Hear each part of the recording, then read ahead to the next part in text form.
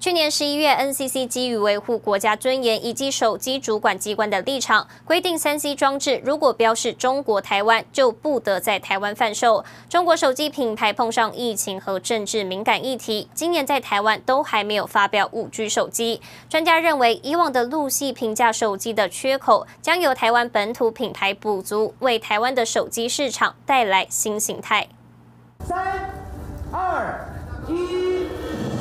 台湾七月正式迈入五 G 时代，不过最令消费者期待的五 G 手机，今年受疫情影响，各品牌大厂的上市时间持续递延。苹果也将在年底发表五 G 新机，预计带动换机潮，但仍无法填满台湾上半年手机销售的缺口，没有办法去完全的驱动整体的这个从四 G 转换到五 G 的这个换机潮。所以目前看起来，今年台湾的手机市场可能还是呈现一个衰退的情况，整体的换机潮的。发酵可能要落在二零二一年。去年十一月，NCC 基于维护国家尊严及手机主管机关立场，规定三 C 装置如果标示中国台湾，不得在台湾贩售。中国品牌碰上疫情和政治敏感议题，华为、OPPO、小米、vivo 等今年都尚未在台湾发表五 G 手机。目前台湾市场有三品牌九款手机通过审定，其中七款是三星以及宏达电。未来在这个本土品牌陆续推出一些五 G 的经济之后，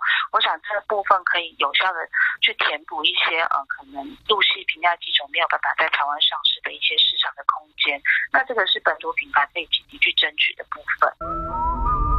站稳台湾手机销售宝座的苹果，受疫情影响生产备受期待的 iPhone 十二系列秋季新品发表会可能延后到十月下旬。外界推估将推出四款机型，新机发表不久后，四 G 版本即可上市，五 G 版本可能要等到十一月才能出货。新海亚特电视池千里李晶晶，台湾台北报道。